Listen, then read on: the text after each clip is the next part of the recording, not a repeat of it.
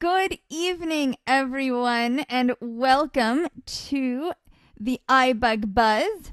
This is iBug Buzz number 627, and this is for Monday, April 1st on April Fool's Day, but this call is no fooling.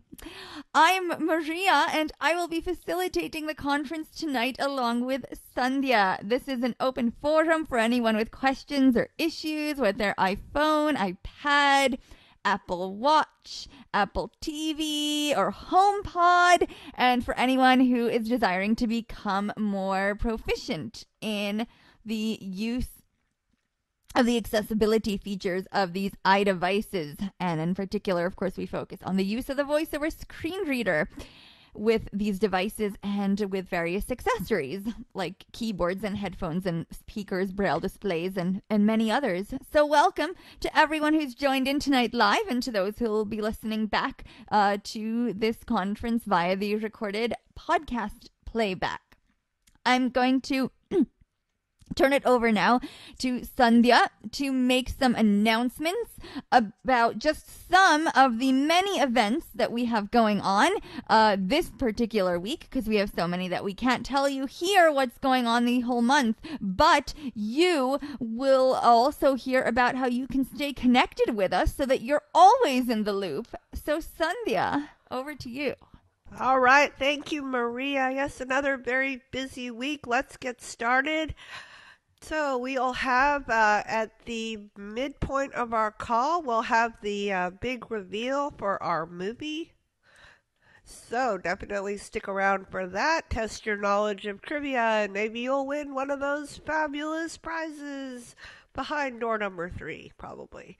All right, then after the call is over, we have something new called the After Buzz all the facilitators go away and then we just you guys can talk amongst yourselves and the recording is stopped and it's designed for y'all to get to know each other and just spend time and so forth without uh, facilitators getting in the way. So definitely, well, y'all can probably recite the forbidden topics. I'll repeat that later when we start that segment. Then Tuesday from oh sorry, all times are central and everything is on the same Zoom platform, so that makes it easy. Tomorrow from five to six, Mac Buzz. Any questions about your Mac, whether you have one or not, and don't know what to do with the one you have, come there, and we will help you resolve those issues.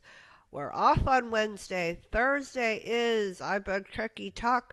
Started Deep Space Nine Season 1. So we just finished a few episodes, so stay tuned for that. I think we'll be watching, well, when we talk about what episodes we'll be watching.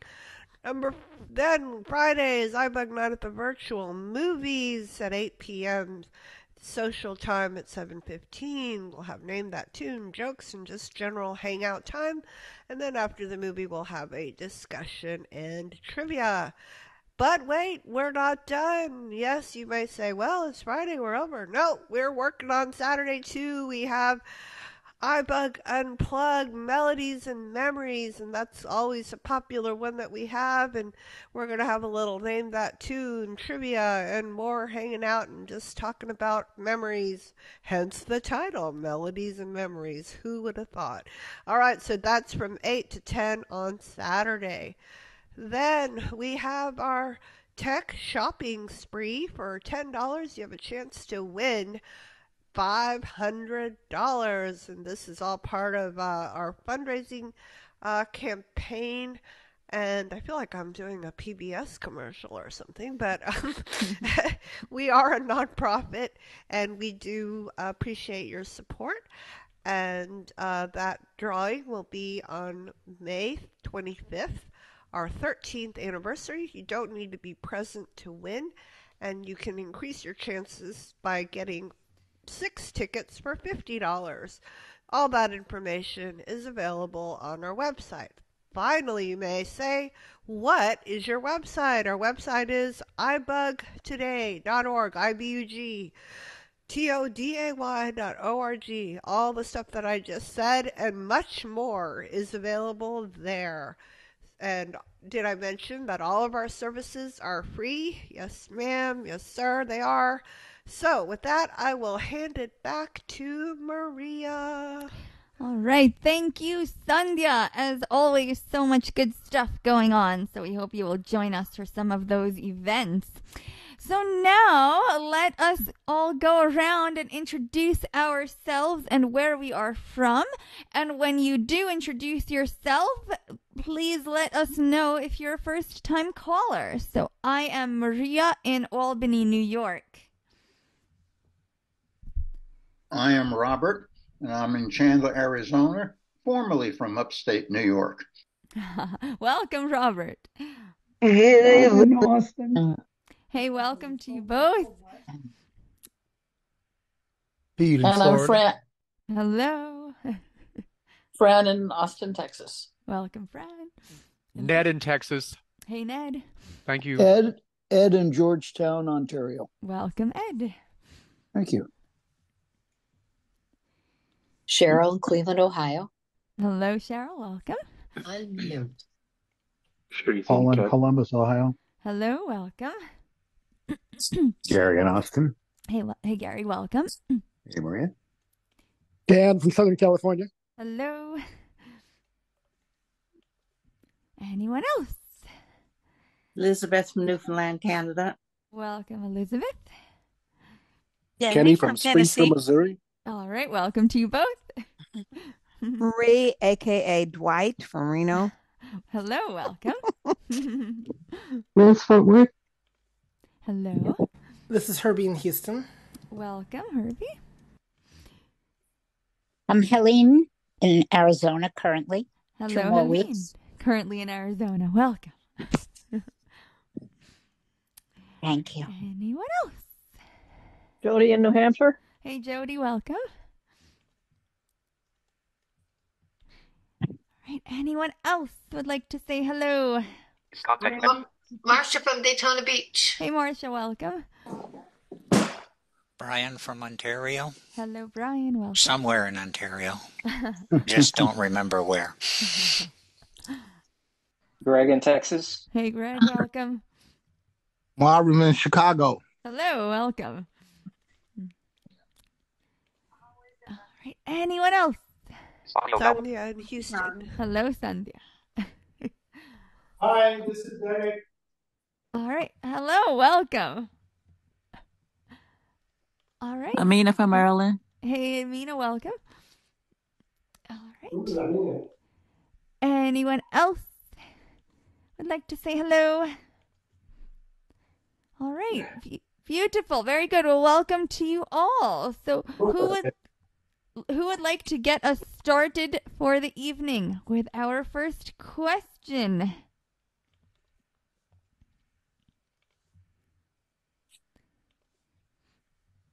And remember, this can be as well, or you can also make a comment if you have tried any new app or learned something new that you think would be helpful to share with the group. Um, this is Helene. Helene, go ahead. Um, this I don't. You'll tell me if it's not answerable. I have uh, my phone had trauma, and the microphone went dead, so that they replaced the phone. And that's the good news. The bad news is you have to go to two different stores, and then when you get the phone and they back it up, not everything is, you know, great. And so my MX Mini Logitech um, external keyboard is not recognizable by the new phone. And I don't know if anyone is familiar with that MX Mini and the Logitech external keyboard to give me a hint because it keeps uh, saying things like, you know, get it close by. Um, then the then the code expires because it says I didn't. Uh, I I had a sighted person putting in the code, but it just doesn't pair up, even though it gets recognized for a brief minute. And when it goes to pair, it immediately says that it's, you know, it doesn't, it's not working. Be, keep it nearby. And I thought maybe it's because I have an iPad that also has the MX Mini on it. So I went out of the house and went to a different home And was that the reason it still won't do it? All right. And you're getting, are you getting the message of like connection unsuccessful? Yes. I assume? Yes. Aha. Yes. All mm-hmm. right. Who would like to help Helene out if any of you are working with either that Logitech Bluetooth keyboard or any others, or even just in general, some hints about reconnecting Bluetooth devices? This is Kenny. This is Go ahead, Kenny. Um, Helene, have um, in your when you go to settings and Bluetooth, do you have um the MX keyboard listed there as one of your devices? This is Helene. Yep, go ahead, Helene. This uh, no, it is not listed until I press the one of the function keys for five seconds, and then it lists it, and then it said beginning to pair, and then it says unable to, you know, to unsuccessful. Okay, and you've you've got the latest iOS update, and you've tried Yes, of course turning off the keyboard and the phone. yes. Okay, and and then I got Oh, oh, I, got- oh, I didn't, I did not. Oh, I didn't shut off the phone. I've shut off the keyboard. yeah, yeah, turn off the phone to try that, try a total shutdown. And I, I assume when you went to the other place, wherever that was, you did not bring your iPad. Right, I did not. Right. Okay. Yeah, yeah. There's there's something weird about that one. Um, I've connected a a, a K380, which is an old older keyboard, and it worked just fine with the new uh 17. So that's a strange one. All right. This is Paul. Go ahead, Paul. Did you did you by chance turn off the uh, was your uh, iPad turned off at the time when you were trying to match them? Um, I tried in in um when when I left the house, I I didn't bother to turn it off because I was going ten Okay, miles that's right. Okay. Do I have do I have to shut it off even when I'm ten miles away? No, I wouldn't think. All right. Anyone else? this is Ed. Go ahead, Ed. I see the MX Mini is the same keyboard that I use. Um, I would I would suggest like which are you uh, you're pushing one of the three buttons? Uh, The- is the is the keyboard hooked up, um, or was it hooked up with your old phone? I assume it was. Yes. Um, are you trying a different button than, than what it was programmed with?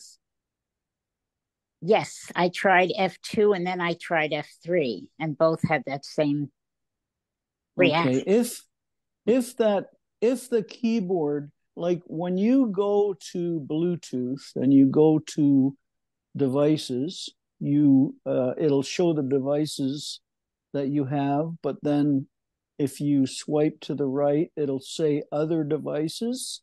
Yes. Yes. And and it's not and when it's in other devices, at that point, are you holding the button down for five seconds on the keyboard? No. Okay. Um, try holding the button down for five seconds on the keyboard when you're in other devices. Um, because the window is very short. Yes. And then when it gives you the it gives you the four digit code, you have to immediately punch it in because it'll also go go bad. Um, and and you might have to do it a few times. I know I I had a problem looking for my device, but I also know that when I was in the store and I opened my they opened my iPhone and they went to Bluetooth, it was listing um like dozens of items in the store that will that was open and ready. I mean, it wanted to.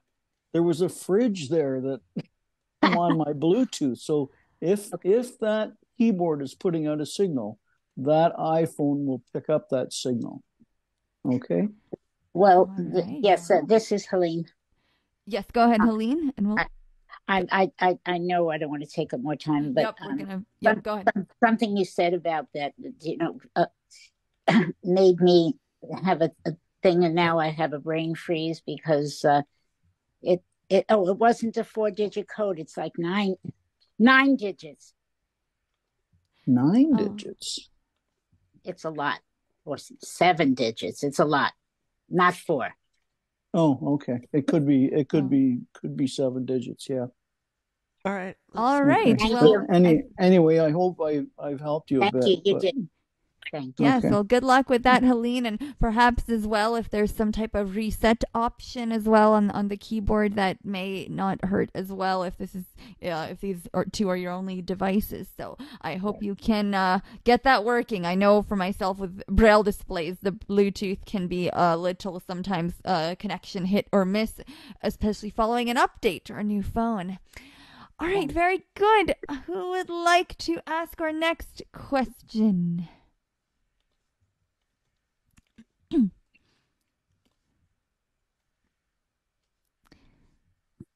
All right. Again, anyone having any uh, issues, following any kind of updates in apps, or if you have tried a new app or discovered a new tip.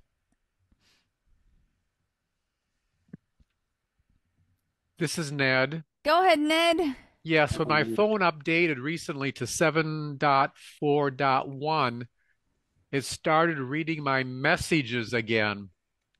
It started reading my text messages when they would come in. And how do I turn that off? I know this question has been asked before. Where do I go to check to see if that is turned off?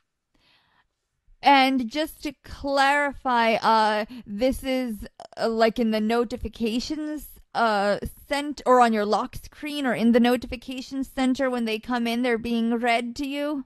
Yes, it would be the weather. The weather notifications are being read to me, and my text messages are being read to me. Okay, and this is being read by like voiceover, correct? Not like Siri. Yes, it's being read by voiceover. Okay. And my phone is locked. I mean, my phone is just sitting there on the counter when it happens. Mm-hmm, mm-hmm. All right. Who would like to help Ned out with this? Who has some suggestions on stopping those announcements? This is Jody. Go ahead, Jody. Yes, if you do a two finger quadruple tap, that brings up the voiceover quick menu. If you go down to system, uh, it will probably say system on, uh, toggle it off, uh, or if it's off, toggle it on. I can't remember which one. But it, anyway, whatever it is, do the opposite. And then that should stop the announcements. All right.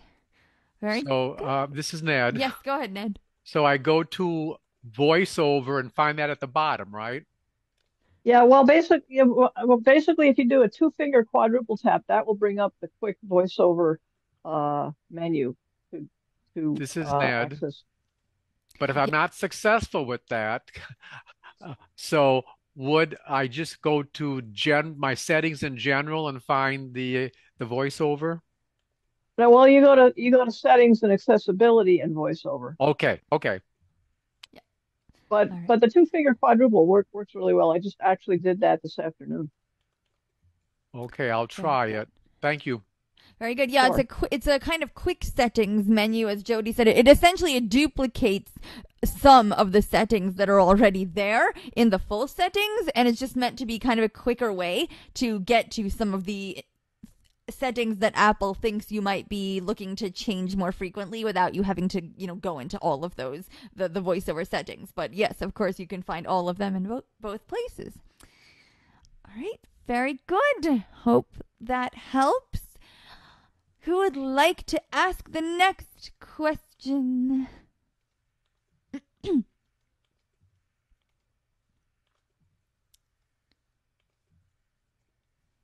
Robert, I'll ask a question. Sure, go ahead, Robert. Um, I don't know which thing I heard it on, but I I think it was Mac and Talk, but they or some one of the So things- if sorry to stop you. So if this does have to do with the Mac, uh, that isn't handled on this particular call. Uh, is is your question concerning the iOS version of this app? yes, uh, Okay, perfect. It, it it's concerning the, the I don't remember which show it was mentioned on. It's called VO Starter is the name of the app, and uh, uh, uh, it's supposed to teach you how to use VoiceOver. And uh, I I find that on my uh, it, it happens to be an older Air uh, two uh, iPad, but it's got uh, iOS 17 on it. It it gives the print in large print, so I can't get to see all of it, and it also gets me locked up that I have to get out and and reset it and try it again. So I have not had luck using that app to try to teach myself all of the gestures involved in voiceover. All right.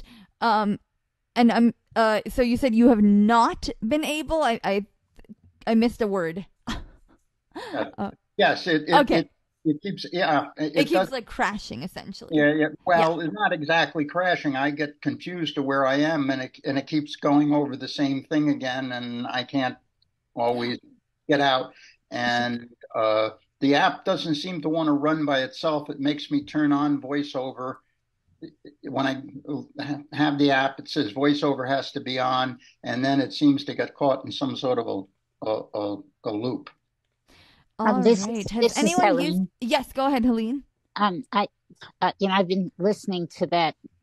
Uh, Pete did one episode uh, one forty nine on the a cafe or a workshop. You know, one of those that, and it was one number one forty nine, and maybe listen to that in, on your phone. Um, thinking Robert, rather than on the old iPad, because you're speaking to us now on a phone, so clearly you have you know some phone do you, you know i don't know but try to listen to it on a more up to date yeah Oh, uh, just one moment. Her- uh, go ahead, Helene. No i'm finished oh, you were finished. Okay, great. All right, go ahead, Herbie. So, um, first of all, I mean, it would make sense that you would need voiceover to be on if it's the the VO starter because it's you know to train you with voiceover. Have you tried making sure that your voiceover is on before you launch the app? I've tried it both ways. Okay, and either way, you still get stuck in the same loop. Yes, I'll, I, I'll I'll try to find. It's it is an older iPad. It is uh, Air two, an Air two. So I'll try to find the newer iPad and I'll try it on that. Now, do you have a newer device you can also try it on? Or is Yeah. that Go ahead, Robert. Yep.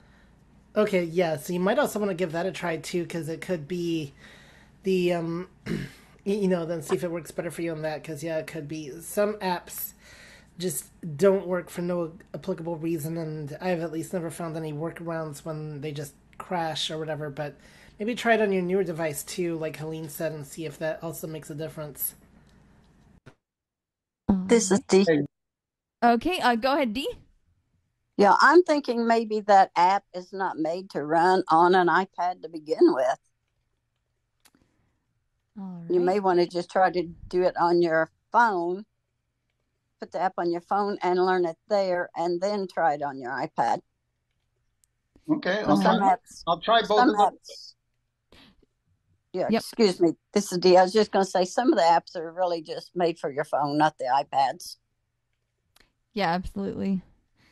All right, very good. Well, I hope some of that helps you out, Robert. And I don't know offhand, too, when that app was last updated. That could potentially be an issue as well if it hasn't been updated in a very long time. But uh, um, I don't know offhand. That would be something to check in the App Store.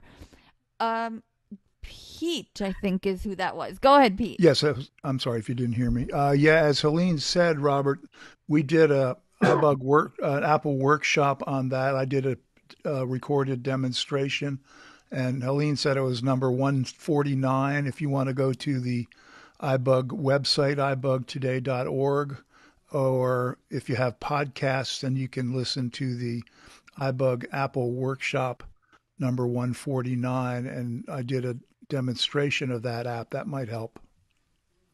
Okay. Might not. It is worth a try for sure. All right, very good.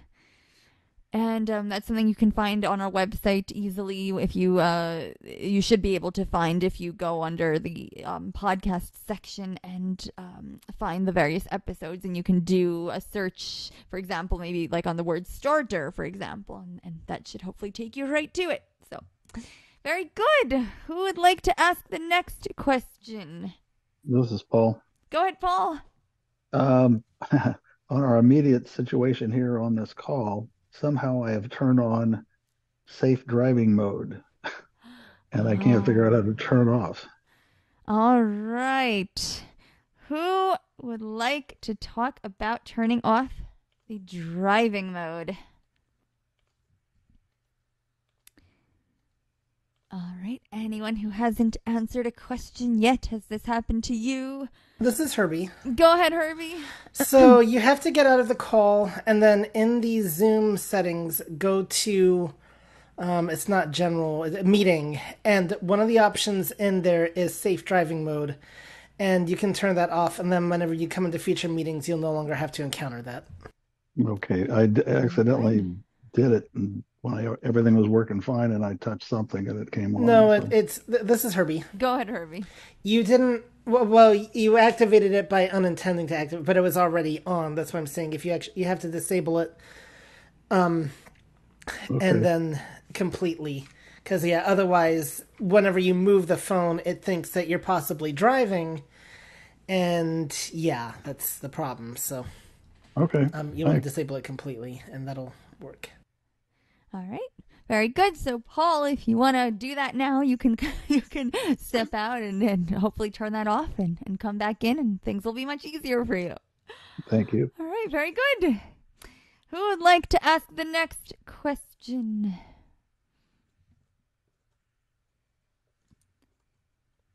Hi, this is Linda. Can I um add? Hey, Linda. Uh, yes, if you'd like to ask a question, go ahead. Um, this is the first time that I've joined you. Um, Oh, I- well, well, I'm sighted. My welcome. brother is blind. Thank All you.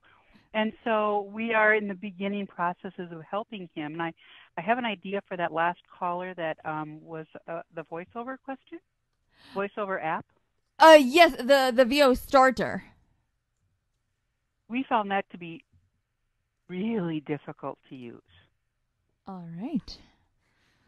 And what we found worked and i don't i don't i got i don't know how, how, how i if i can say other can i say the name of another organization that i found some wonderful videos on Uh, sure. For like for learning the iPhone. the, for learning voiceover Oh, sure. Uh, like a resource. Yeah, sure. You can share. um the group hadley helps out of chicago Ah, yes. Has a wonderful series on voiceover. There's a bunch of um, video series. Now, I was able to watch, but you can also listen, I would assume. Um, but that's how we finally figured out how to use voiceover. And we know we have a long way to go, but it was a really great start about using voiceover. Very And good. with Hadley, you you have to sign in. You have to you have to set up a little, you know, email address password because that's how they get their funding. But um, it was wonderful, and it really helped us to get him going on voiceover. That's all I had to say. Very good. Well, thank you, Linda, for sharing. And um, and and first of all, no worries. We we say watch all the time and see and such as well. So definitely no worries there. and um, your brother, uh, you not sure if you heard this, but uh, definitely if you visit um our website ibugtoday.org, we have a jumpstart mentoring program for new users of VoiceOver. So it sounds like your brother would be a great fit. So. Oh yay! I just found you guys on Facebook a couple days ago, so we're so grateful. Thank you. Very good. Well, lovely. Well, welcome. Glad to have you. All right. Who This is would Shri. Like, uh, Shri, was that you? Yeah, I think- was gonna yes. say another good Go app ahead. is the screen reader um, that you can download too. Okay. uh, The app is called the Screen, Screen Reader. reader. Yeah, Okay. screen reader. Screen Reader. All right. Very good. All right. Who would like to ask the next question? This is Jody. Go ahead, Jody. Yeah, I just wanted to comment. You know, if you go to YouTube and search, you can also find that uh, uh, that great instructional uh, is it I cafe or workshop 149 on how to use the VoiceOver Starter app, and it really isn't a hard app to use. Uh, if you follow the steps, just go step by step, But the mentoring program here at iBug is really wonderful, and you can get 12 lessons, uh, personal one to one, and learn how to use uh, the voiceover features on your phone. It would be nice if your brother would actually join the call um, himself too, because you know that's that's what we're here for. Yes, so the mentoring program, yes, it's a 12 up to 12 lessons up to 24 hours. So we really try and help uh, our mentees with getting up and running with the basics. So very good. I think he might have joined the call today as well. Excellent. Tried. Well, he tried. We're, we're, we live in different homes, and he was trying. Okay. All right, very good. Well, welcome if if you're able to to join Linda's brother, and feel free to uh, comment or ask a question if anything comes up. All right, very good. Who would like to ask the next question?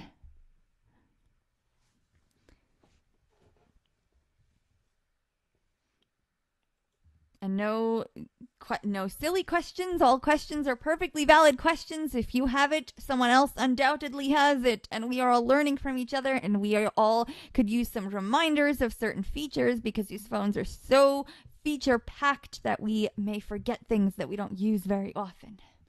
This is Sandhya. Sandhya, go ahead. I I'm asking a question for a friend.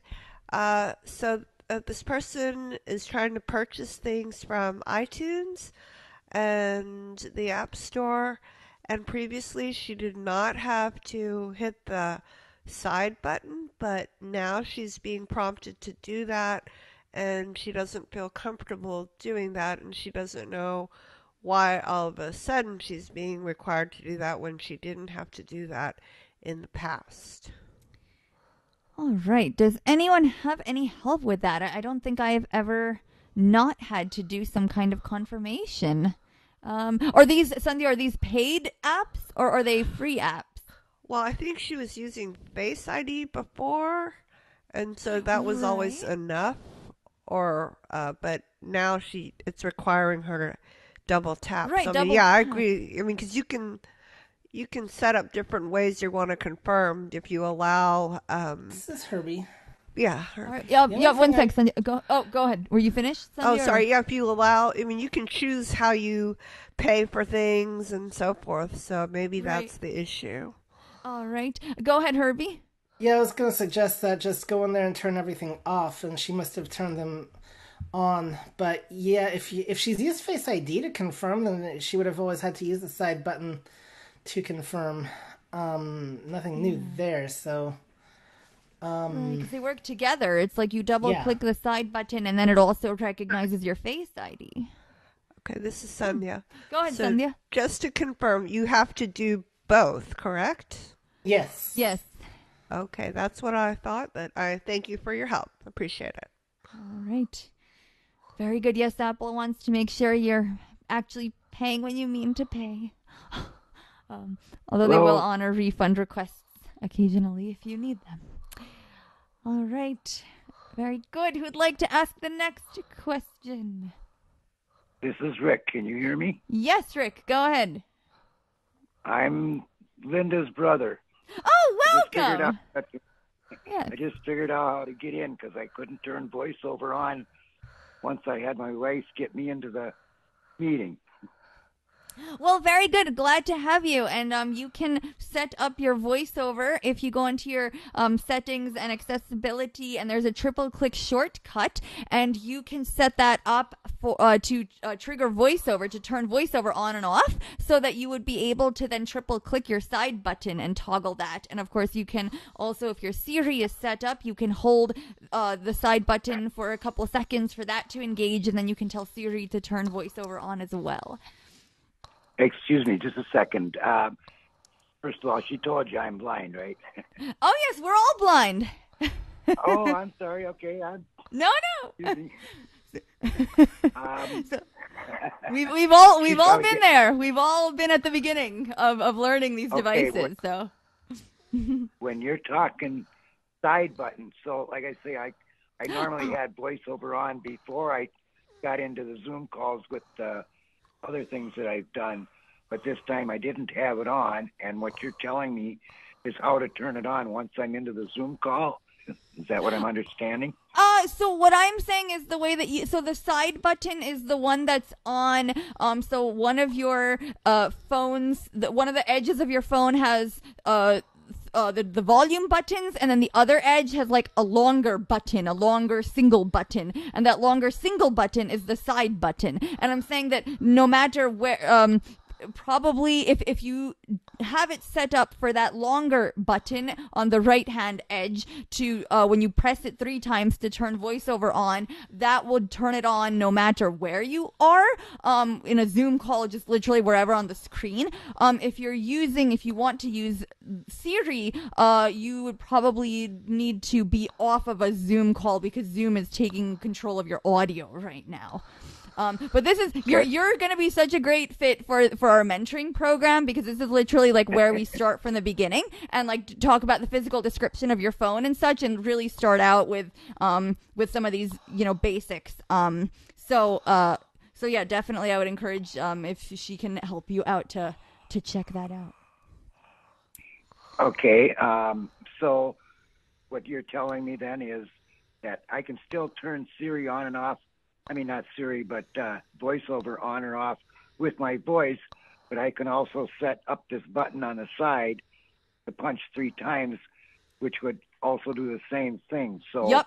by Exact- activating the button, I'm not going to deactivate my voice control of it to, to start it up through Siri, am I?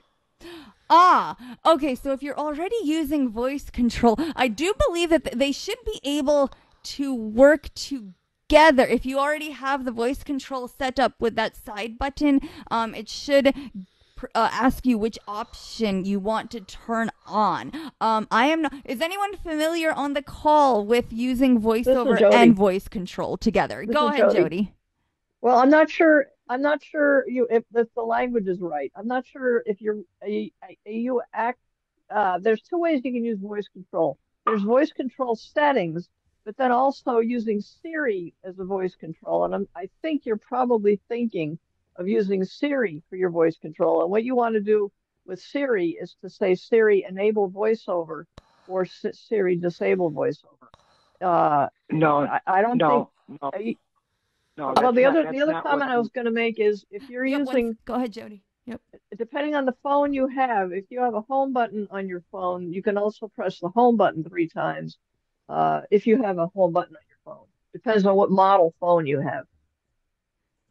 Yes, I Um, have an iPhone 6. I do have a home button.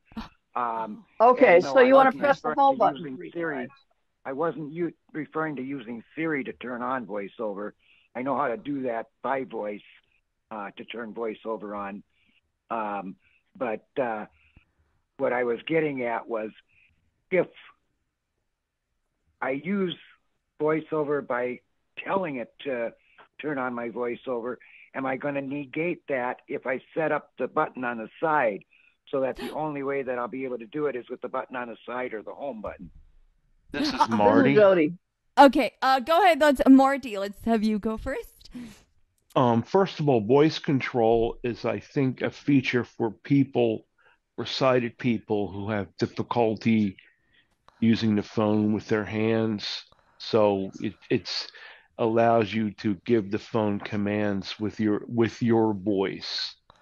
Um, the side button on your iPhone 6 is used to lock and unlock the phone. The, the- like turning on and off the voice over or using Siri is done with that round button, the home button on your phone. All right. And Jody, go ahead. I was just I was just going to say if you know unless you have a physical limitation where you can't press uh, the buttons on the screen or or swipe on the screen, I think that using voice control and using voiceover at the same time right now is going to be very confusing for you because you are a new phone user. I would suggest not using the voice control, the voice commands. I would suggest using voiceover to listen to your screen and use the gestures because using voice command is going to be very confusing at the same time. And again, using your Yeah, home that- button to turn on your voiceover is is the way it's going to work on an iPhone six. Let's let's and, and just to, I just want to make a point, and then I think we can shift from this. Um, so I think Rick, you're asking if these two methods, if using Siri and then uh setting up in your case the home button to triple click that home button, are they mutually exclusive? And the answer is no. So if you set up that trip, if you go into settings, accessibility, voiceover, and you set up, and you're actually saying referring to iPhone six, I, I don't know um how old of an iOS version that runs, so you may need to go into settings in general and accessibility, but um and then voice and then uh the, the shortcut. But once you set that up, then that just gives you another way. So you can either triple click that home button or um hold it down to trigger Siri, the voice assistant, and ask the Siri to turn on voiceover. So they're definitely not mutually exclusive. You don't lose anything. You you just gain. All right. All right, thank you. I'm sorry, I didn't mean to be so confusing. That's No, no, it's all good. No, no worries. All right, As I you. said, we all start at the beginning, and I definitely think the mentoring program would be a um a great thing for you to look into. So, very Yeah, good. okay. Thank, thank you. All right. This Who is like- Richard. Uh, sorry, This is Richard. Richard. Go ahead. Um, excuse me. Being new to the iPad and iPhone with Siri to the voice talk, such as Rick was talking about, Jody had mentioned it. Yes, I found it much easier to set it up, which I had help to set it up where I had the screen reader and I had Siri. But being new to it, I could use one or the other because it just really got confusing. So I picked one. Now, this is my own experience and my own advice. I would pick one and go with that because, like Jody said, pick one because using both, asking Siri to do this, and then just listening to what you're touching can get very confusing. So, yes, it's very great to have them both set up, but when you're first learning, like myself, pick one, go with that until you get experienced, and then go with both, or or even stick with one. It's really still your own preference, but my own experience, have them both set up, but pick one and get experienced first. This is Jody. All right. Very good. All right, uh, Jody, and then we'll shift from this topic. Yeah, well, I, I wanted to clarify because there are three separate things here that we're talking about. Siri is the voice assistant, and you can ask Siri to do a variety of different things. Voice command is, or voice controls are uh, commands that you give the phone as separate from Siri. And then you have voiceover, which is the speech output that you use to understand what your phone is doing. Siri and voice commands are two completely different things. So you can use Siri with voice commands turned off Voice control. and Yep. vice versa. Okay. All right. So yeah, Siri and voiceover, that's fine. Yeah, voiceover and voice control can be a little difficult. Um, but yeah, This Siri Siri allows you to like say to open a specific app or to ask the weather or um you know sometimes like send a message or some such. So definitely those two can work together. Um go uh, Ed is it on this topic or a new question? I I just wanted to comment on this this subject because I tried using voice control and voiceover together, but the only the only way you could do that is by wearing headphones because Okay. the voiceover talking is saying things and the voice controller is listening for voice commands. So one um, interacts with the other and it gets totally messed up. All right. Like I say, unless you're using headsets. Sure. All right. Very Okay. good. Very good. Okay. Thank you for Okay. that. Hope that clears that up. Okay. All right. Very good. Good discussion. Who would like to ask the next question? This is Marty. Marty, go ahead. Uh, I'd like to know if anyone has had experience with either the Status Audio headset or the Bang and Olufsen um, headsets. The Status Audio is a three driver headset, and the Bang and Olufsen is a higher end uh, headset. All right. Anyone have any experience with any of these? All right. Well, Morty, you might uh perhaps if you want to post in the Facebook group and see if anyone there knows or otherwise hopefully if you try them out and have like a return policy, you can let us know how they work out. Okay. All right. Very good. Who would like to ask the next question?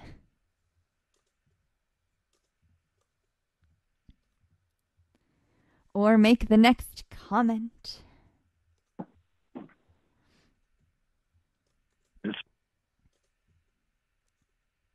Uh, so, did I hear someone say this is? All right. Anyone who hasn't asked a question yet, who may have one? This is Greg. Go ahead, Greg.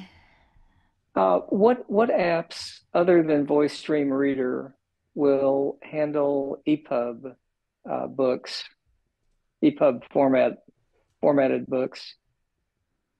All right. Anyone have any app recommendations? This is Herbie. Go ahead, Herbie. Try the Books app. All right. Right built right into your phone. Yep. Um, there's some EPUB files that may or may not work with, but that's the one thing, one app I would try first. All right. Any other app suggestions?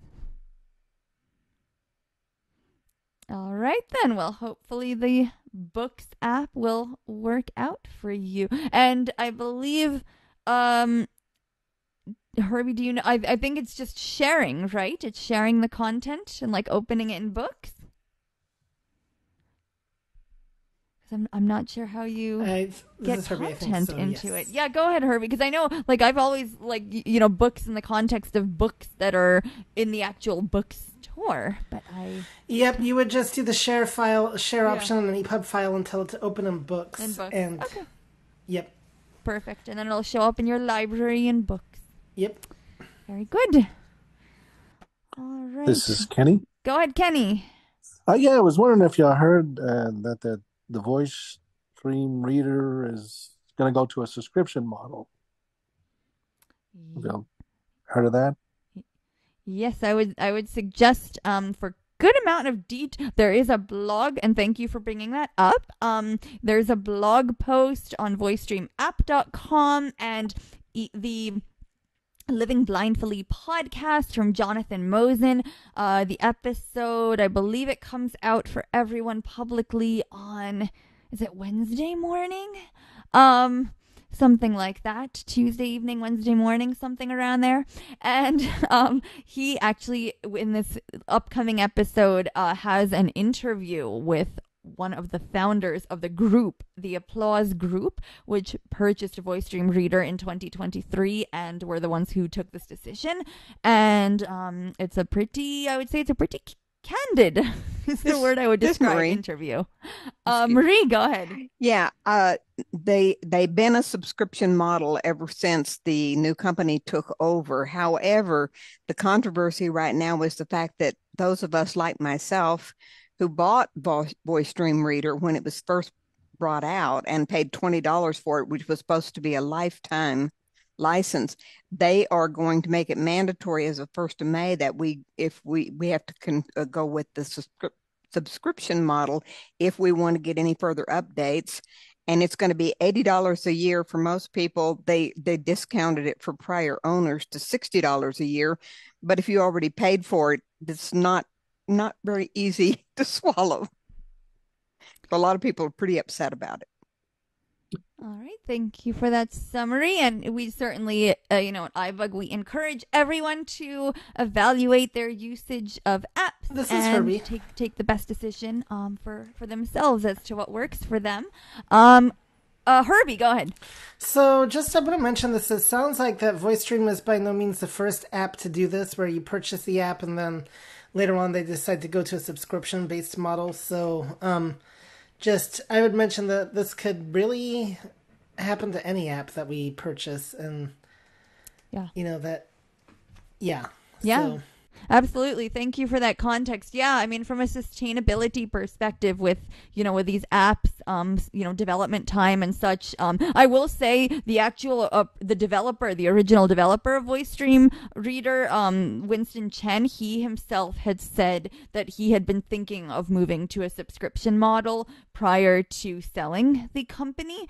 Um, and yeah, as, as Herbie said, this isn't the first app um, to do this. And, and actually, Winston had, I believe, the VoiceDream Mac app, I believe, had been a subscription the entire time of its existence. And that's what I believe this is the same price that that was, but that includes um, both of these apps. And they did, um, Jonathan did ask on this interview. Um, again i would encourage you all to, to listen to it to get um, all the, the information that we have available at this time. And the, um, he had asked was there a possibility that they would consider perhaps a tiered subscription for those who just wanted the iphone app and uh, you know didn't have a mac or for whatever reason didn't see themselves um, you know using that app? And they said that was something that they would consider if uh, enough people wrote to them and such. Um, there was a question there about a monthly option um, which is i believe believe already available or upcoming. Um, so I would, yeah, and they and they talk about some of their their upcoming features that they're working on and such. So I would absolutely encourage you all to um, listen to that when it comes out um, to to get a full picture uh, as of as of this point in time as to what's going on in, in their perspective. This is Jody. Very good. All right, go ahead, Jody. Yeah, I was going to say when you know I I have already switched back to Bookshare Reader. And at first, when that app first came out, it was very strict and very difficult to use and didn't use it. But now they've updated it and it's very nice. And if you just want to read Bookshare books, then it's a really nice app. And I, I recommend it. And of course, it's free.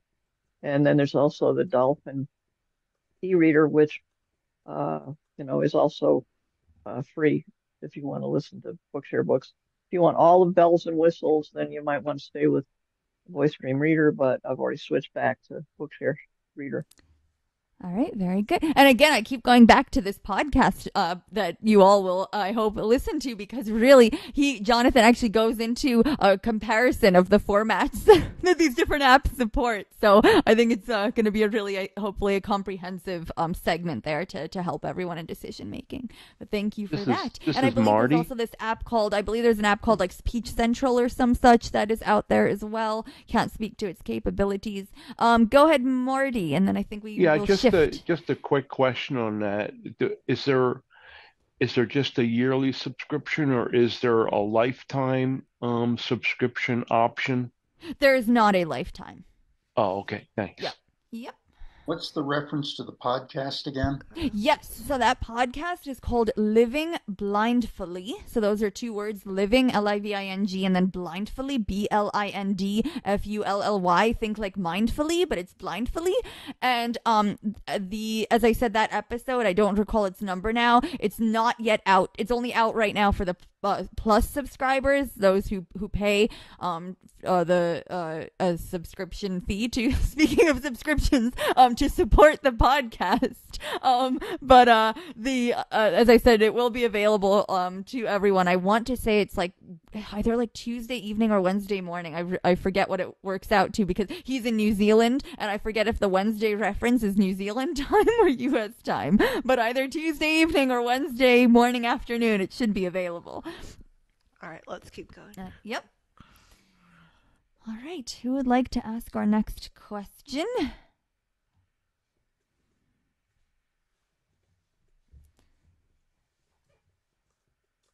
And we have a few more minutes here until our halftime show of entertainment. Who would like to take us out to the halftime? Someone who hasn't asked a question yet? This is David. Go ahead, David. Yeah, has anyone brought up um, this game called Zanagrams? All right, not not on this call. So I don't uh, remember do ask your question. Well, I, I, I finally downloaded this weekend and I played it, and uh, it's pretty cool. I, got through almost all the one of the puzzle packs already. Of course, you can buy you can buy additional ones for ninety nine cents. Uh, the app itself is free, and they have two like puzzle packs included.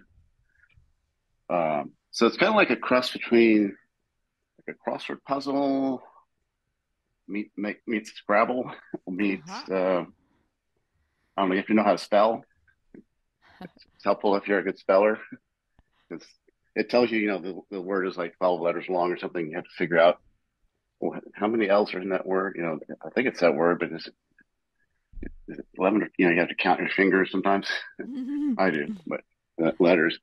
But yeah, I give you little tiles um, of, of broken down words, like in little pairs, like, you know, AS and TH and BER. It, it breaks down all the six word clues into little tiles. This is And, Pete. Yeah, it, it's yep, pretty go cool. ahead. David, yeah, uh, D- yeah, go ahead, finish, and then we'll.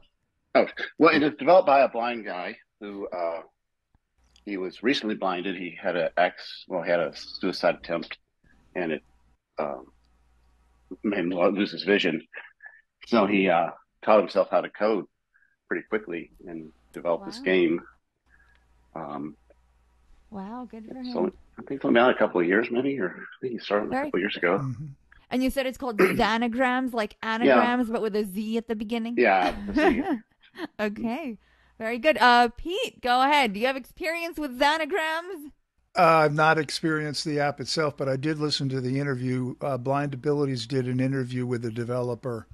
Uh, Jeff did a wonderful interview, and he does have a unique story. He was a uh, he was a uh, special forces soldier, and he went through all kinds of depression, and he uh, had an accident, and then he really had a deep, deep, deep depression, and he committed attempted suicide, and he shot himself in the head, and was unsuccessful, and he came back and uh, redoubled his efforts to um, get back into life, and he he learned how to code all by himself, and he started this, and it got the AppleVis uh, App of the Year, I think, didn't it, um, David? Yeah. This is Da- David. David, you know? yes, yes, it did. It won the Golden Apple for game. Yeah, the I know. Golden Apple, uh, yeah, App of the Year. So Yeah, and I- I did listen to that podcast, yeah. Really good. Awesome. so everyone can check. So that's Blind Abilities in your favorite podcast app, and that sounds like such a cool and inspiring story. And like that just makes that in itself just like makes me want to down. And also like word games are good for the brain, you know. So mm-hmm. I, I'm gonna like download this app now. I am too. Very cool. All right, what a lovely, like, hard, but also in, in the end, like, uh, very upbeat and inspiring. Yeah, uplifting at the end. Yeah, Right, yeah, yeah. exactly. All right. Well, with uh, well, we, we have actually like a couple more minutes. Does anyone have a very before our halftime entertainment? Does anyone have a very quick question or comment?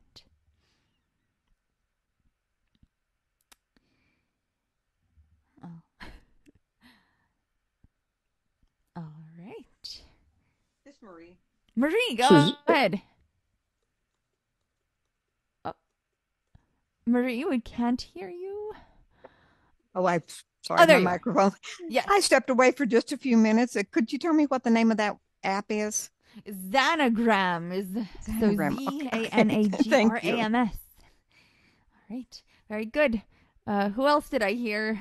I thought This is Ed. Ed. Go ahead. Just a really quick question. When I'm on my iPad, I'm on my keyboard, and I want to get out of an app, say I have mail open, and I don't want to close mail, I just want to go to a different app.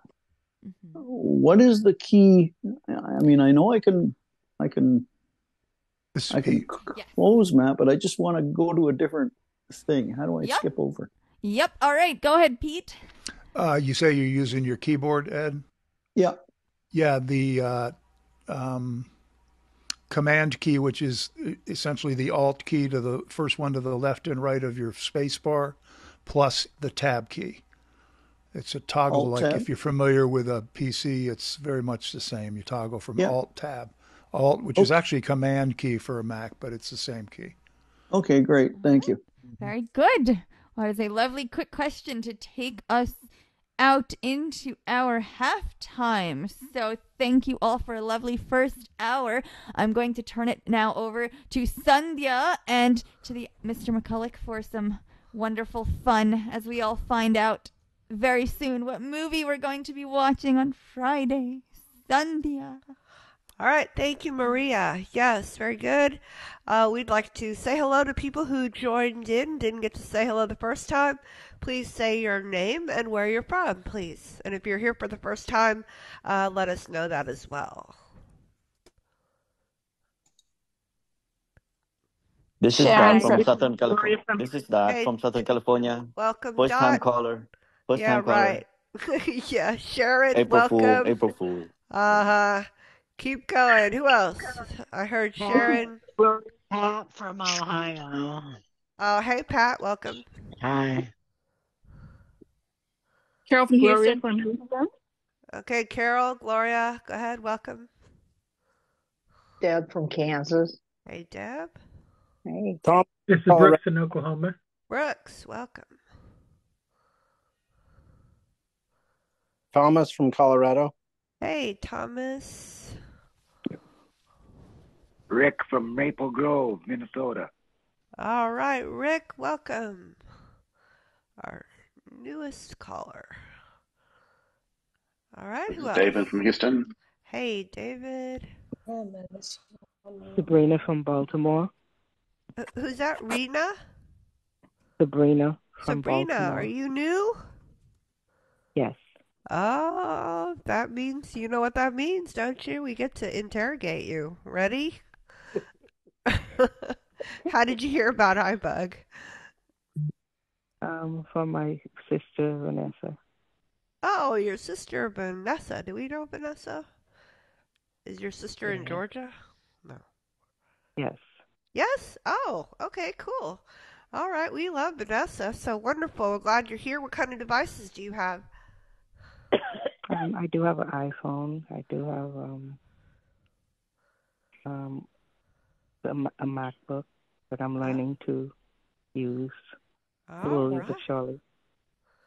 Well, we are so happy you're here, Sabrina. Welcome to you, and we hope you come back, okay? I sure will. This is Vincent in New Jersey. Welcome, Vincent. Thank you. Hello, hello. Who else we got? I don't This know if you guys heard me the first time. This is Cindy from Chicago. Hey, Cindy, uh, welcome. And who else? This is Derek. First time on iBuzz. Yeah, yeah. Hey, Derek. Welcome. Everybody's a comedian. Here we go. Who else? Who you are, where you're from. Okay, is that it? Well, we're happy that all of y'all are here. And uh, we are going to find out. We're going to be watching a movie, an audio described movie, on Friday, 8 p.m. Central Time, social time at 7:15. Definitely come for that. We get to be silly, do some name that tune. If you're good at music, we like to guess songs and figure out what the connection is to the movie, if any. Emphasis on if any. Uh, but it's just a, time to hang out, and then we have a discussion and trivia to follow the movie. So, with those amorphous clues, we'll hand it over to the iBug guy. iBug guy, are you out there?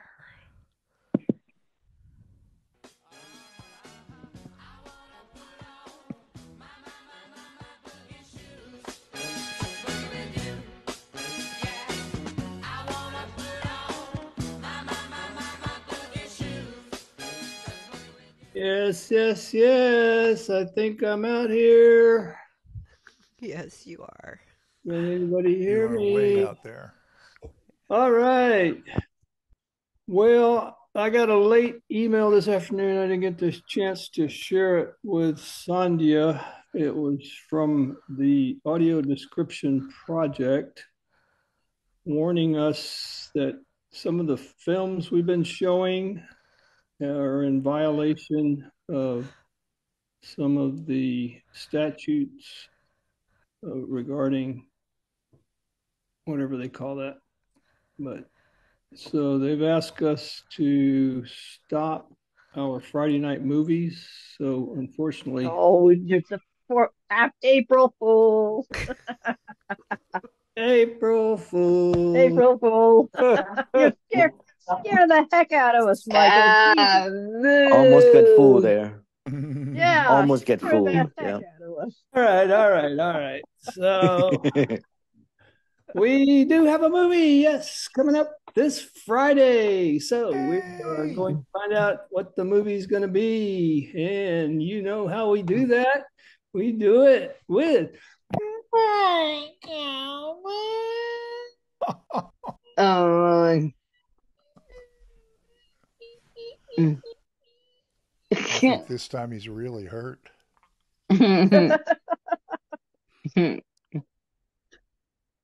You watch them.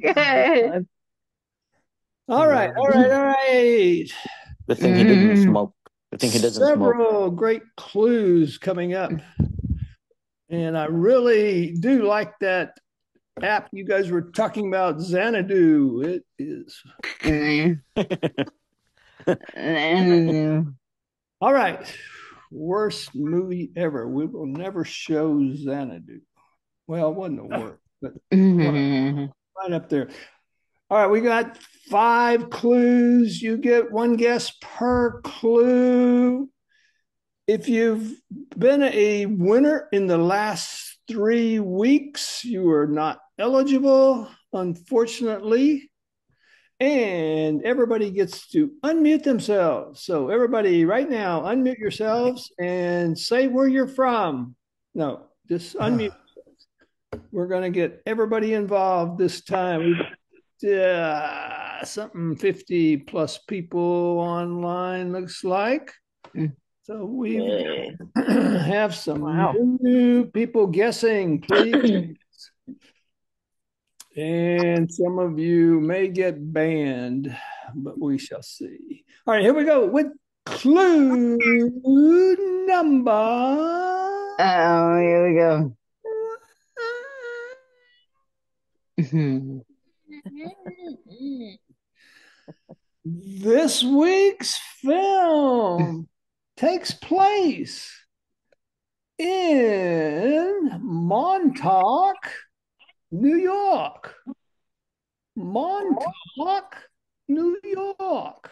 I like saying Montauk.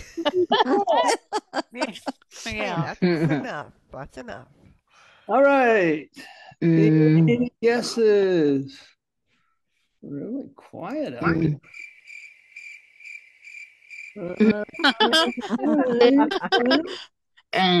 That cricket might know. Well, we're gonna have to move on to clue number. What are we on? oh my god. The film's title is based. Oh, wait, first. Are there any poets out there? Or any poets? Poet. Poet. Are people that enjoy poems? Is it poems or poems? I can't remember. Anyway. I love poetry, but Oh, we got a poet out there. All right, this is for you. Our film's title is based on a quote from the poem mm-hmm. Eloisa to Abelard, Abelard, Abelard by Alexander Pope. Pope. Good thing I don't have a microphone. Mm-hmm. Pope. The film's title is based upon a quote from the poem Eloisa to Abelard. All right, I guess we don't have any poet poem aficionados. Can I use mm. aficionado with poem? I don't. Yeah, if you want to. It's okay with me. Not a football game. Go on. thought aficionado is only used with food and drink. No? Yes? Go on. Mm, no, I don't think so. Oh, okay. All right. What is aficionado anyway? Not that- you. Is that Latin or Italian? or something in between. I don't know. All right, no more footsies. Mm-hmm. We're going on to quote, no, clue. Clue number where are we? three. Is Shree here? Yep. He is. I All thought the he way was. from the UK. Yeah, I he's thought he here. was in London. I know. I am here. Are there? He's here. Late. It's late in Like- London. What? Hey, What? come on. It's like 1 a.m. there. Like 3 a.m. We're Or worth 2 a.m. 2 a.m. That's right. It's um, Four uh, Go on. oh.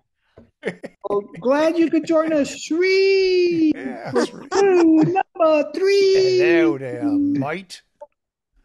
The film explores themes of memories, love, hmm. and the nature hmm. of relationships. Hmm. Relationships. This is Shree. Shree for clue number three. Is it Cabrini? Huh? Cabrini. Man, you- you're have to speak louder from London. I can't. He doesn't want to wake everybody else up. I think it's rainy. He's saying rainy. No, Cabrini. Cabrini. Oh, Cabrini. Oh, I see. He's going back to that previous clue about the poem. He's so wrong. wrong. This is Ned. Ed, yes. Is Ooh. it Dirty Dancing? Ooh, Dirty Dancing. Does that take place in in Montauk, New York? Well, I know it takes place somewhere up there, maybe out. Oh, Upstate New York. That's Montauk is on Long Island. Oh, okay. Yeah, yeah.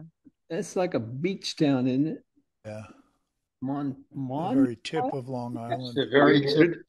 It's the very tip of Long Island. On Oh, This okay. Who said that? Okay, come on, go on. All right, This is Mar- Marty. This Oh, is by the way, you're wrong. Whoever said that Dead last. Poets Society. Dead Poet Society. No, we've, already, we've already seen that. I think we've Oh. seen that one. Good try, Marty. Come on. Anybody else? Thought I heard Brooks. Kathy. Oh, I did hear Brooks. That's right. Brooks, then Kathy. Uh, what dreams may come? What dreams may come. Is that a song? what dreams may come. Not anymore. Don't quit your day job. Keep singing. Yeah, really. Unfortunately, I don't know that song, so we are moving right along. Ooh, all right. Kathy, I'm Kathy, home. Kathy. Kathy from Tucson. Tulsa. Tulsa. Tulsa. Same thing. Close enough. Amityville Horror. Amityville Two. Horror. Ooh. About love and relationships. Mm. Yeah, some weird What? love. Yeah, I think everybody's telling you you're so wrong, Kathy. All right. Anybody else? We're going to move on to clue Number number four.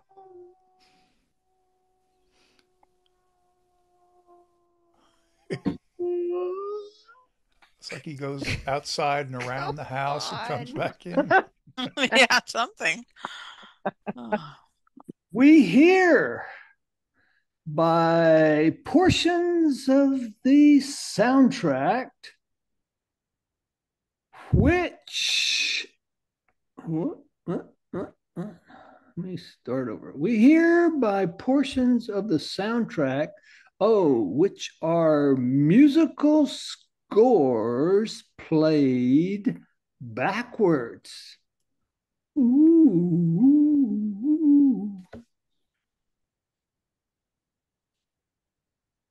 Some of the songs are parts of the songs are played backwards.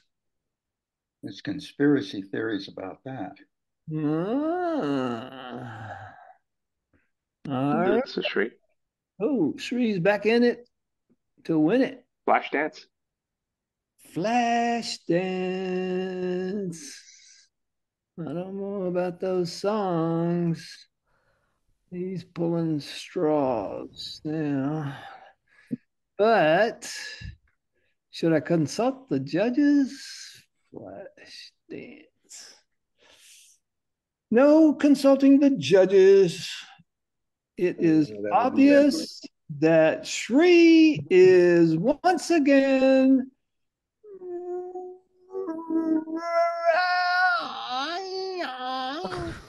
wrong. Oh my goodness. Poor Sharon. Oh my Uh, Anybody else want to go for the clue number four? Sharon? Oh, there's Sharon. Sharon from New York. Is it Eternal Eternal Sunshine of the Spotless Mind? Which I think I just mangled the title of, but is it that? Eternal Sunshine. That's too many words. We don't play song. I mean, movies that have too many words. That many words. I didn't know there was a limit. Okay.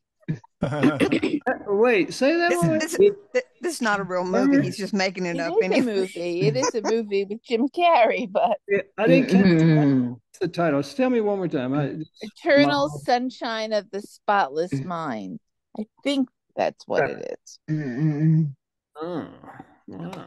Okay. Eternal. This is Jerry from Vermont. Still too many words. Hang on, hang on.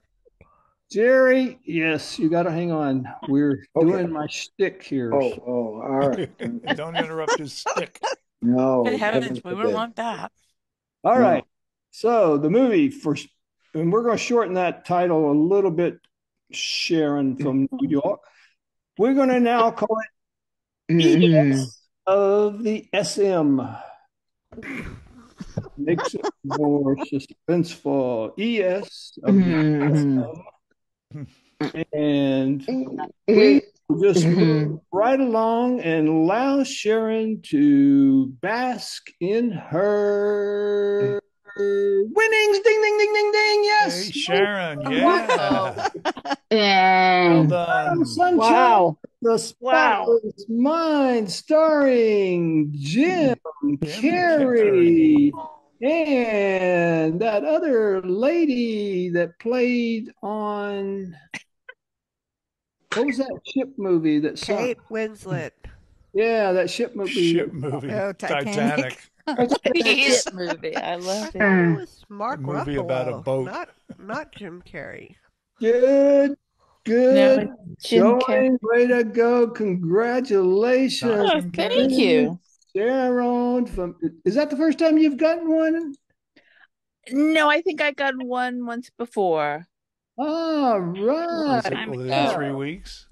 No. Congratulations for Long time ago. Miss Sharon from New York. And what do we want to do with Sharon?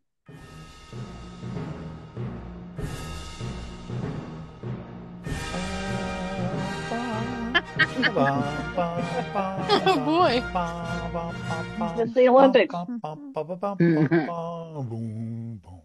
Okay, Johnny, what do we have for our winner tonight?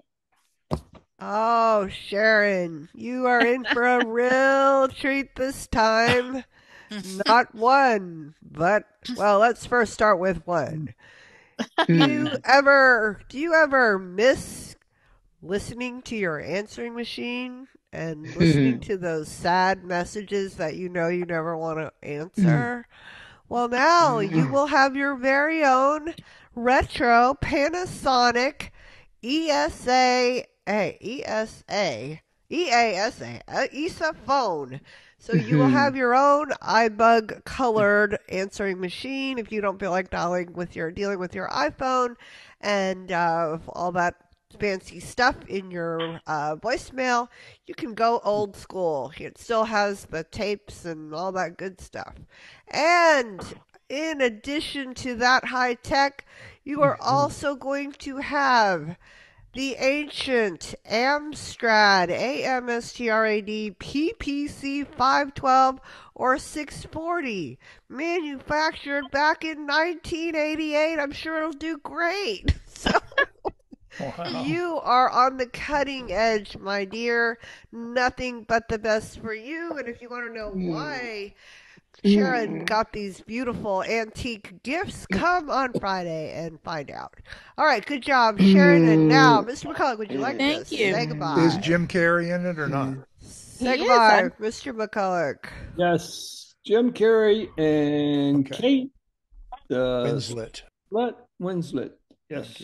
Thank you. Okay. Uh, Go ahead. Say goodnight, Mr. McCullough.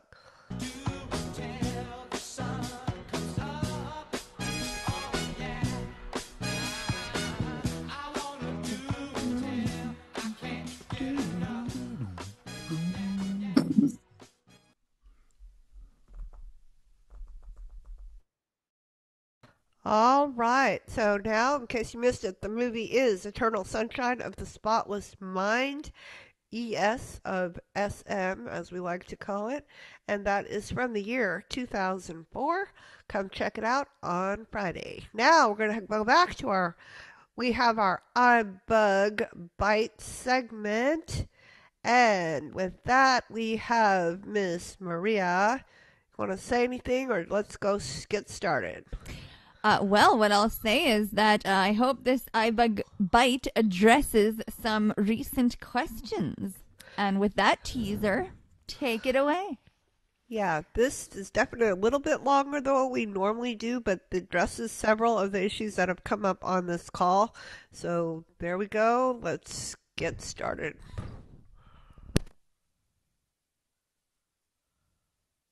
We're going to take a look at sending an email with particular emphasis in being aware of where the cursor is placed in the different fields associated with composing an email. The to, the CCBCC is applicable, the from field, if you need to change the email account from which you're sending, and then, of course, the subject field and the message body field. The general idea is that you'll fill in a field and you will touch below that field until you gain focus by using a combination of the exploring by touch and flicking to the next field, double tapping to make that editable, filling it in, and so on. In the to field, it's quite rare nowadays that you'll have to type in a full email address as you type. Results will populate below the field, and that actually applies to either the CC and BCC fields, certainly as well.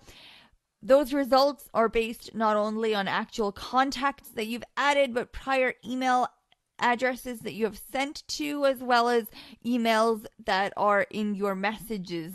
So if you do have to type in a full address, there is the return button in the lower right hand corner of the keyboard to complete that entry. But again, it's so rare nowadays. I've found at least that I have to type in a full email address. As soon as I type a partial, I can usually pick the result that I want from down below and double tap it and carry on. So let's see how this looks. Mail 84 unread emails. I guess I need to catch up on reading my emails. But we're going to double tap. Mail search search field. And the compose button in the mail app is in the lower right hand corner on the toolbar. Toolbar compose but 2 text field is editing insertion point at start. And here we are nicely told that we are in the to field and the insertion point is at the start. So we're ready to just type in an email address.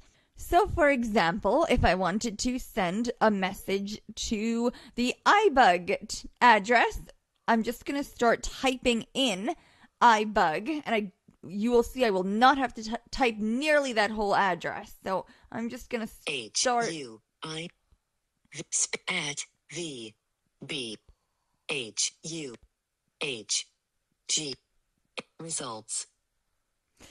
And Two, text field is at as you heard while I was typing on the keyboard, the period and the at sign are very conveniently in that bottom row of the keyboard. If you do need to type in the full email address, you don't have to switch over to the numbers layer. For that, that's specific to a keyboard when an email address is recognized. So that's a nice little touch. So I just typed in iBug new message. Two, text field is editing. iBug. Kit results. iBug today. iBugToday at gmail.com button. And I literally just moved my finger a little bit below that to field. And as you heard there, there was a result with the email address that I am looking for. And it's a button. So if I double tap it, but if we touch New message. Heading. that new message heading is at the top. And if we just move our uh, finger down a little bit below, New message. Two, text field is editing. I bug today. I bug at And now, as you can hear, it filled that in. It started to read that entire email address. So you heard the today, right? I didn't type in the today. So it did pull from the result. Now, if I did want to send to another address, I could just repeat this process, you know, type in another one.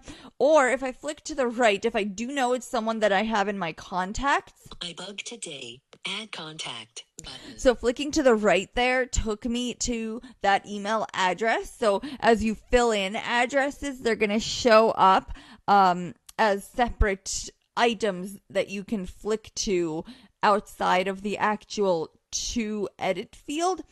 So if I hadn't typed in anything, we wouldn't have seen that. The add contact button would have been right to the right of the to field. But since I've now put in an address, first we'll get to the address when we flick to the right and then to this add contact button. And I won't show that, but if we do add in a contact, if you double tap on that button, it's going to be your standard searching for a contact like you might find in the messages app or just any number of these contexts where you can add a contact to something that you're doing.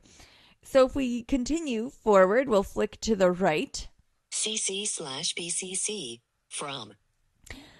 And so this control is an expand control in a way at this point. Um, it doesn't doesn't say anything, but for example, if I flick to the right, Maria.m.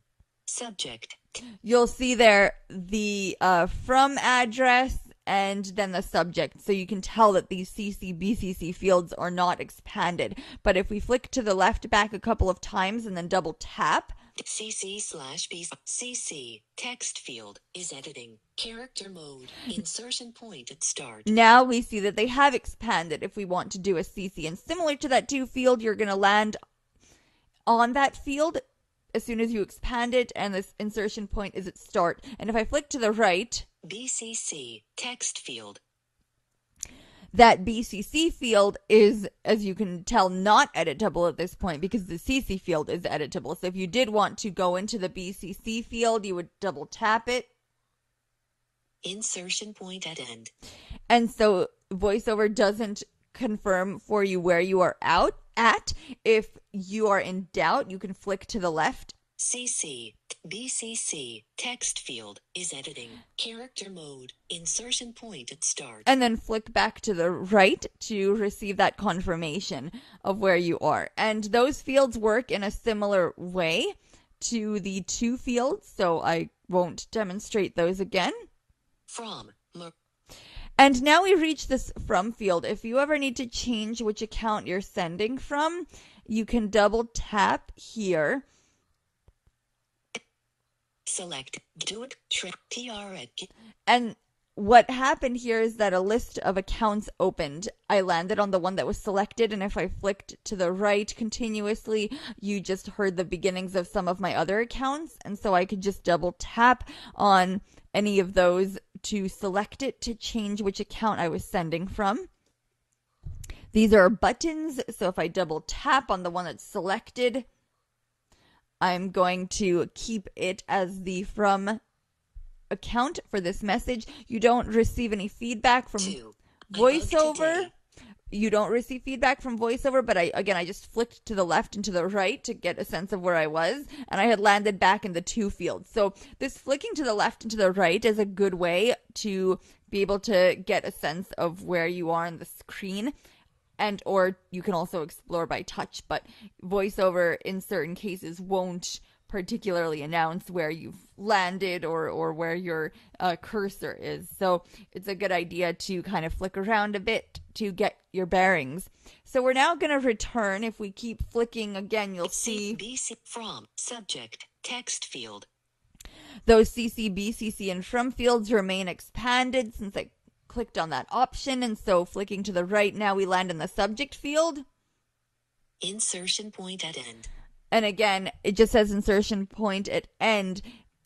We can safely assume that the field we were focusing on when we double tapped was the one that became editable, that being the subject field. But again, if you want to confirm, Maria dot subject text field is editing. Character mode. Insertion point at start. I flicked to the left and then back to the right in order to find out where I was. And if I just Cat T type in. S B S R T. Okay, so our subject is test. Sub- message con message subject test. Message content. Message body. Regards. And I flicked to the right there, and below the subject is the body field. What it's reading there is my signature. And that, of course, that field is not editable because I've just touched it and or flicked to it, depending on the situation. But of course, fields are not automatically editable when you just touch them. So in order to make it editable, we're going to double tap. And here, it's important to remember that you're placed at the top of your message body ready to type. If in doubt, Insertion point at start. it will confirm that for you when you double tap it to make it editable. Again, if in doubt, flick to the left and then to the right. Message content. Message body. Text field is editing. Regard. and then it's going to read the signature because it's already there in this case and then tell me the cursor position. If I'm not sure if I'm at the start or end of the body, I can certainly double tap Insertion point at end. to toggle it and I want it back up to the start. Insertion point at start. Camp H. B. And if I just L. type in hello L. I. O. and I'm still in the body here, so I'm just going to continue to be in the body as I'm typing. Again, if in doubt, Message body. Text field is editing. I just touched in that upper half of the screen and landed on the body field. Two. Two. Subject. Test.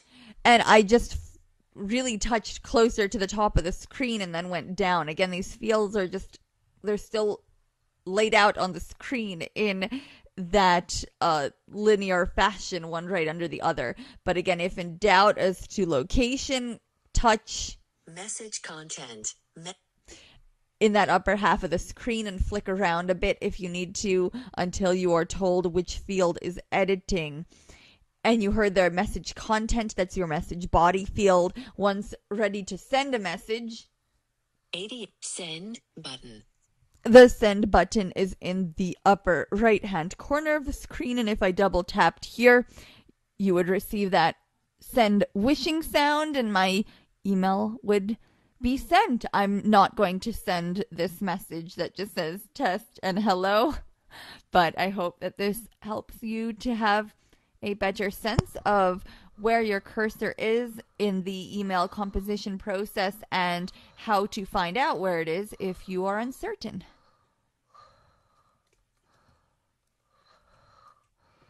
All right. So I'm happy. Thank you for sticking with that. As Sandhya said, it's a bit longer, but I hope that it helps to answer, clear some doubts, and answer some points of confusion. Um, so happy to take any questions.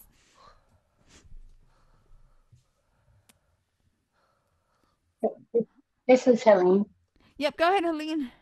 Um, what happens? Uh, what am I doing wrong when I get to send and it says send dimmed? Ah, that may be uh the email address that there may not be a valid email address in um any of the fe- like for example in the to field or any of them. And you have to when you type if you're typing in a full address and you haven't you either need to select it from the results if it pops up or if there's no result when you finish typing your email address you want to press that return button that is in the bottom right corner of your screen to tell voiceover like hey i'm done with this email address typing. Treat this as an email address. All right any other questions Maria, this yes is this is Jerry from Vermont. yes go ahead jerry Wonderful presentation, by the way. Um, uh, I was curious as to how you, what happens if you press and hold the send button when it's not dimmed. What I'm looking at is how do you send emails like scheduled emails to people? Is there some button that I just haven't come up against that does that? Ah, so um that actually might be a good topic for another bite segment. Um but yes, um I actually it's been quite a while since I have done that. If anyone else um has played with it more recently and would like to uh, answer that, go ahead, but otherwise I think that will be a nice uh topic for another bite. I'll have to figure it out. All right, well go ahead, Shree. It's a long press. We'll bring you those options Long press on send. on the send button. Yep. Oh, Okay, thank so you. the long press, the double tap and hold, like you were saying, or um a uh a oh my goodness, a triple.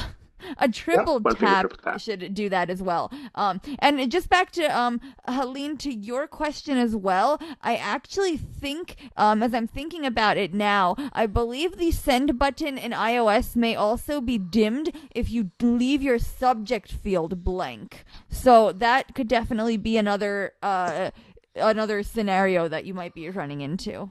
This is Helene. Yep, go ahead. It, it's mostly, it happens when I'm replying and I'll write reply all, Mhm. and then I'll press send, and then it'll say send dimmed. I hear the I hear the whoosh sound, but I just don't know if anyone got it. Oh, so if you hear the whoosh sound, then it did probably go through, and you might just be hearing the dimmed because the message is uh still on your screen for a few seconds, but it should be off of your you know screen. It's just taking a bit to update. If you do want to check, um, this depends a bit on your email client, uh, your your email uh, provider. But um, for example, if you and I, we did a bite before on moving out back into your email folders. We did it in the context of creating a new one, a new mailbox. But if you just go back out of your message list and you go into your folders, um, and you uh keep you know flicking down, scrolling down, flicking down, there, uh, flicking to the right, there should be a uh, like a sent folder or a sent mail folder, and you can go in there and you should be able to see it in there to confirm that it did send. But if you are hearing that swooshing sound, that uh should mean that it's gone through. Thank you. Yep. All right. Any other questions? All right. All right. Very good. Well, then, Sandhya, I will turn it back over to you. All right, thank you, Maria. Yes, very helpful demo. And uh, as always, all of our uh, recordings are available for review on YouTube, your favorite podcast, or our website. Okay, so now who has not had an opportunity to ask a question and would like to do so? Please say your name and we will go from there. Linda. Go ahead, Linda. Um, I can't remember how to turn off location on my photos. Ah. Okay, who would like to help Linda? Look, location services on your photos. Anybody? No, no takers. Jerry from Vermont. Go ahead, Jerry. I think you'd have to. I don't know that it's separated from turning location off completely. You know, so if you turned off location services, uh, I think it would it would do it temporarily if that's what you want to do. Okay. It's Chris. Chris. I, Atlanta, I think if you go under settings, under privacy, then I think, um, I don't know if it's photos you can see underneath there. And then underneath photos, you can turn on and off certain things. And one of those is location services, or it might be under settings privacy. And then maybe in the location services, it might list all the apps that have asked, you know, requested um, to, to have access to your location services. It's, it's, it's one or the other. And then you can turn it on and off for photos. Great, thank you. Thank you. All right, who else? Hasn't had a turn. This is Jerry from Vermont. Go ahead. Um, I have been having trouble lately. Uh, at the this, this is not my question, but I've been having trouble lately sending Apple Cash quickly. Uh, and I found out that what it keeps telling me is I have to update my billing address. Well, when I went in to do that on, on my iPhone or iPad, there's all these different billing addresses that have that pop up from some of them places that I've lived, some of them from my work, uh, and I, I really want to have just one billing and one shipping address at my present place. Do I have to go in and delete and remove those by hand, or is there some way I can delete them all and just put in the one I want? All right, anybody updating your Apple business uh, mailing address? Apple Pay address. Any thoughts? Sorry. It's okay. Probably have to get rid of those manually, which you probably don't want to do, but yeah. Any thoughts? Okay, no thought. Oh, go ahead, Cindy. Yeah. This is Cindy. Uh-huh. I I want to help the other person with uh the turn off the location. Okay. So you will you will go up three fingers up to uh, control center, and it's right there. So you could turn it on or turn it off. Okay. What what is there? The location, the choice. Yeah. Okay. All right. Thank you, Cindy. Now, anybody else back on this one for Jerry? Otherwise, we're moving on. Uh, oh, this is Maria. Go ahead. Just to confirm, yeah, I had a bunch of addresses too. I didn't even know where all them came, where all of them came from, and yeah, I had to remove them manually. But the good news is, since I did that, that was like a one-time thing that I did a few years ago, and I've never had to do it again since. Oh, that's All good. right. There you go, Yeah. Jerry. Thank you. Redeeming factor. Okay, next. Who else has got a new question? Somebody who hasn't had a turn, preferably. This is Richard. Go ahead. I was going to say about the photos location Okay, in the well, settings. Yes, there it's all in there of other apps too. It's permissions and there's all kinds of other apps. When you go in there, just go under permissions, find what app you want, go in there and just turn off what you don't want, turn on what you want, but they're all in that same area of permission setting of that Okay. All right, thank you. All right, let's move on. New topic. Who has a new question? This is Maria. Go ahead. I'm curious if anyone has gotten to play with the Access AI beta that is part of the Aira Explorer app. This is a free feature that similar to other services like Be My Eyes is Be My AI and certainly Bing has. Various programs have these image descriptions uh, generated by AI features uh, but what Aira is uh, attempting to do to set itself apart is to offer the human validation aspect since they have the agents as core part of their business to um, you know provide a r- real-time assistance through video. So this is having them validate the description um, or answer answer questions about it and so on. Again, not by calling them, but just interacting similar in it with a text-based environment of asking questions. And it's now in beta so anyone can go in through the app. There's an Access AI tab, and you fill out a form, um, and you apparently will gain access. I mean, everyone will gain access at some point, but at this point, it's it's uh, what's it called? Like staggered, I think. I forget the term, but it's like being rolled out slowly.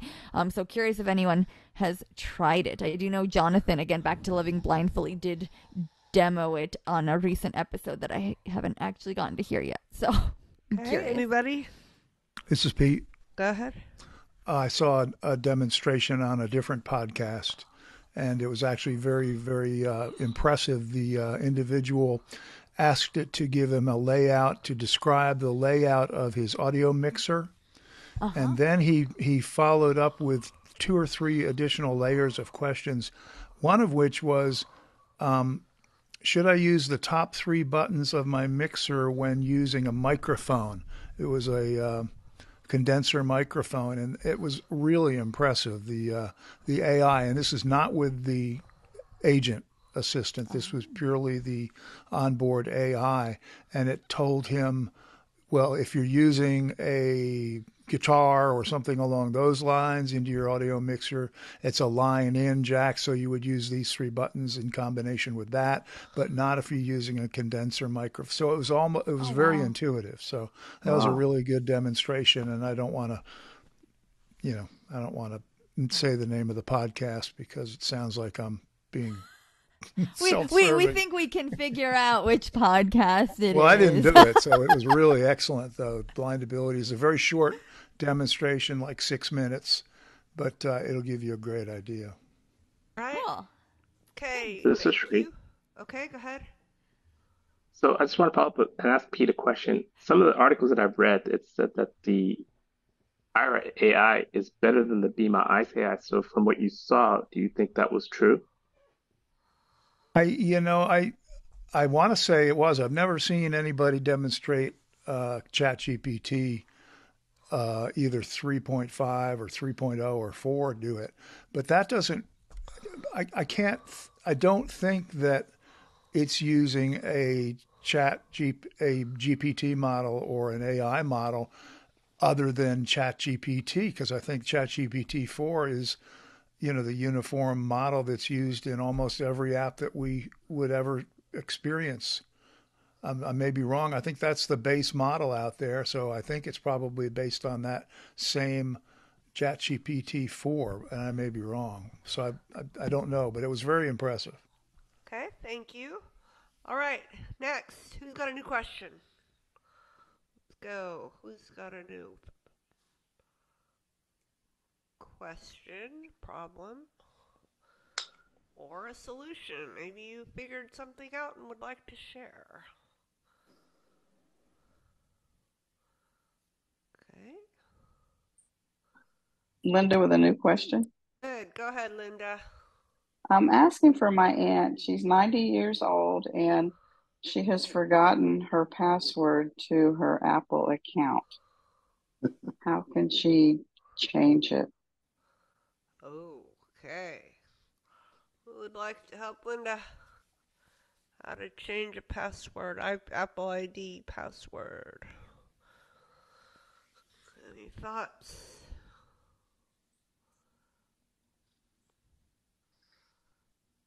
Well, the obvious. Did try calling Apple accessibility for her? It's a good idea. I think you. I don't know. It's been a while. Mm, this is Shree. Ed? There's definitely a settings on the phone to go in and reset it. I don't know where it is on top of my head, but there is a setting you can manually go in and change it. Okay. Thank you, Shree. Um, All right. Good luck, th- Linda. th- this is Oh, Maria. Maria, I-, I don't know if you can because she's forgotten her existing one, right? Like, are we talking about the passcode to to be able to No. unlock the phone? Yes. Oh, and she doesn't have like a face ID, right? That she can use until just to get in and then be able to change it. She has the finger thing, but it's re restarted her iPad and it said you have to Oh, type in the number. the passcode. Oh, wow. Um, wow. I don't know if like a recovery mode or some such would work. Um, yeah, you might have to reach out to. Uh, I know they're really like strict about, you know, changing those types of things from like the privacy implications. I, I think if you call Apple support, they will they will walk you through it. All right, thank you, Robert. And just a reminder, we like everybody to say their name so we start getting to learn who you are. So thank you. I'm sorry. That's okay. You're good. You're still new. We're glad you're y- here. Thank you Yes, for that if you help. get your- if you get your iPad locked, either by forgetting your passcode or it not being recognized, you can call Apple support. You may have to go to an Apple store uh, to to reset it. I I I somebody in the family had that happen. and I know they got it reset, but they had to call app. They started by calling Apple support. Very good. Thank you, sir. Thank you very much. All right, let's go. Who else? New question. Uh, this is Dan. Go ahead, Dan. Uh, with reference to the last uh, question, yeah, if, if if the if the person goes down to an Apple store, they can set it to the default mode, and uh, you'll have to just set everything up. It'll be like like it was came out of the uh, like it came out of the factory originally, so they can set it to the default mode. Return to factory settings. Okay. Right, right. Oh dear. Well, okay. All right. Thank you, Dan. Okay. Who else? All right. I have. Okay. Anybody else? Question? All right. I have a Bard question. I'm listening to Bard usually when I can't sleep, and the minute like anything not I'm not touching it, but like maybe the bed sheet or the bedspread, what something touches it, and then it starts, you know, doing all kind of crazy things. But should it be doing that? I thought it only responded to like human contact. So uh, what should I do? Should I lock it or what?